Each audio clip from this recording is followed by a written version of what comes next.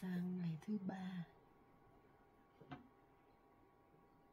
Nửa đêm mà mình lại um, thèm ăn bánh.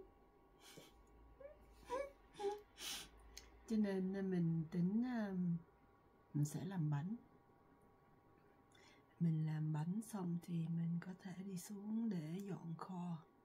À, cái xe cho nó à, nhẹ nhàng một chút để ngày mai mình sẽ đi xuống phố.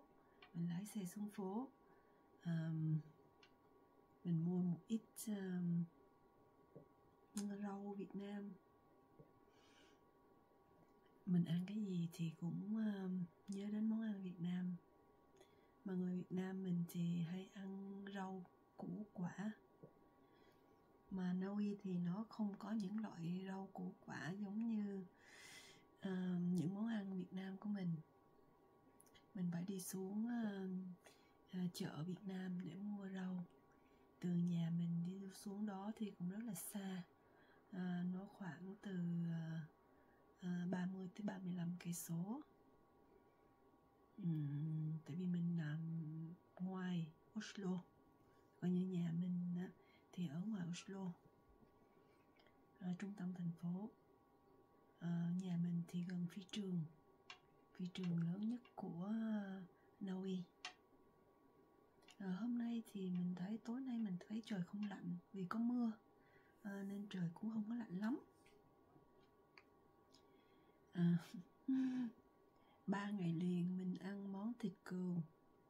Mình nấu từ hôm thứ bảy chủ nhật đến bữa tối chiều thứ hai này mới hết cho nên mình tính là ngày mai mình đi xuống chợ Việt Nam. À, mình mua ít uh, rau cải Việt Nam à, để về mình chế biến món ăn Việt Nam ăn cho nó đỡ ngán. Từ nhà mà mình đi xuống đó thì lái xe xuống đó hết 30 35 cây số. Ừ, vừa tốn tiền xăng vừa tốn tiền bung.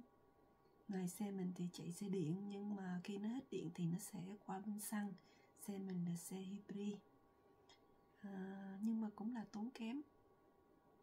Cho nên à, mình phải chấp nhận thôi. Thì bây giờ mình sẽ làm một ít bánh cho các bạn xem nhé ok.